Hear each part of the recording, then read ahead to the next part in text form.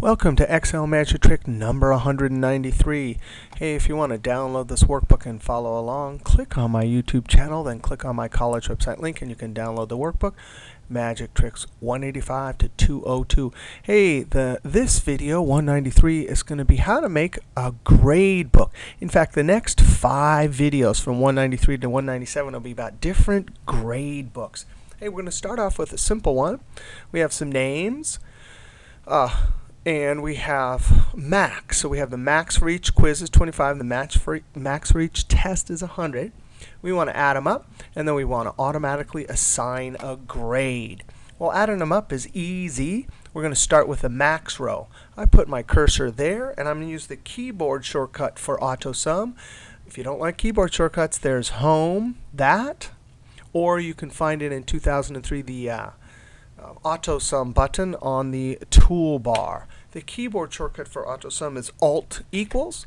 It tries to guess, and in this case it, it guessed right because the dancing ants are marching around the right number of cells. So I'm going to control, hold Control and hit Enter.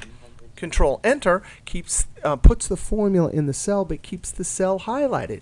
Because if you're going to do something to the cell right away, that's convenient. And what are we going to do? We're going to point that little fill handle in the corner, and with our crosshair, that little crosshair that, or angry rabbit, you click and drag. Now I'm going to Control Z. You can also just double click, and it sends it down as long as something's to the left.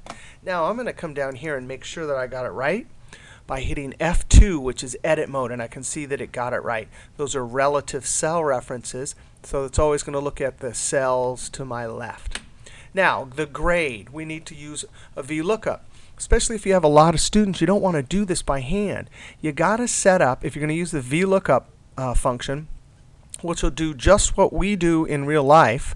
Uh, let's say we're here and we want to get this person's grade, 209. Well, we take that in our memory, we go over to the first column, we go down, and when we bump into a value that's bigger, 244, we have to go back here and they're going to get assigned an F. That's how we do it, which that F will be deposited back here in that, this cell. How we do it, humans, by hand, is the same way the VLOOKUP does it. Now, something important about this, it has to be, the first column has to be sorted in ascending order from smallest to biggest.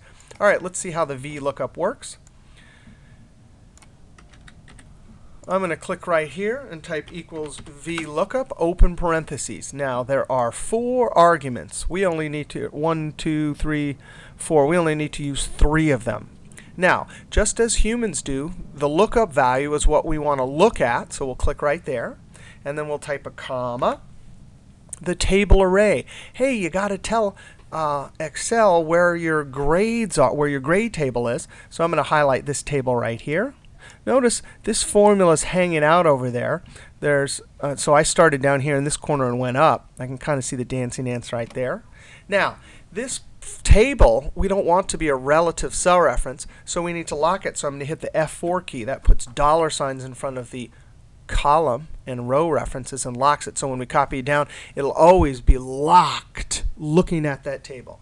Now that's the table. Remember, just as in, in uh, real life, we take that value, we look down this first column, we go to the second column, we get that value and put it back into the cell. So that is the lookup table that every cell will use as we copy it down.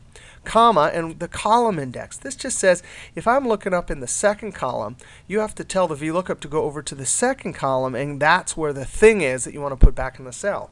So I'll put 2, which means second column.